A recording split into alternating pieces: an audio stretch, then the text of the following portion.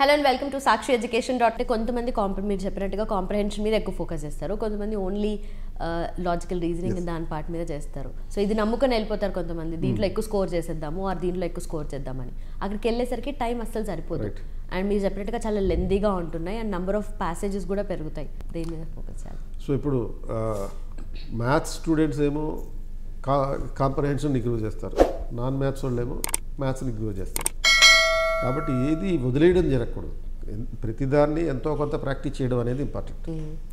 అది కూడా ముందు నుంచే కనీసం ఒక ఆరేడు నెలల పాటు ముందు నుంచి ప్రిపరేషన్ ప్రాక్టీస్ చేసుకుంటే మంచిది. సో ఏది వదలకండి. రెండోది ప్రాక్టీస్ అనేది కీ ఫ్యాక్టర్ దీంట్లో. ప్రీవియస్ ఇయర్ పేపర్స్ని ప్రాక్టీస్ చేయండి. కనీసం ఒక ఐదు పేపర్లు ప్రీవియస్ ఇయర్ పేపర్లో ఒక ఐదు పేపర్లు ప్రాక్టీస్ చేస్తే మీకు ఎగ్జామినేషన్ పల్స్ అనేది అర్థమైపోతుంది. ఎప్పుడైతే ఎగ్జామినేషన్ పల్స్ అర్థమైపోతుందో ఆటోమేటిక్గా మీ ప్రాక్టీస్ స్టైల్ని మార్చుకుంటారు. సో దాని ఆధారంగా మీకు ప్రిపరేషన్ మెథడ్ అనేది మారుతుంది. కాబట్టి ఫోకస్ ఆన్ సీసాట్ ప్రాక్టీస్.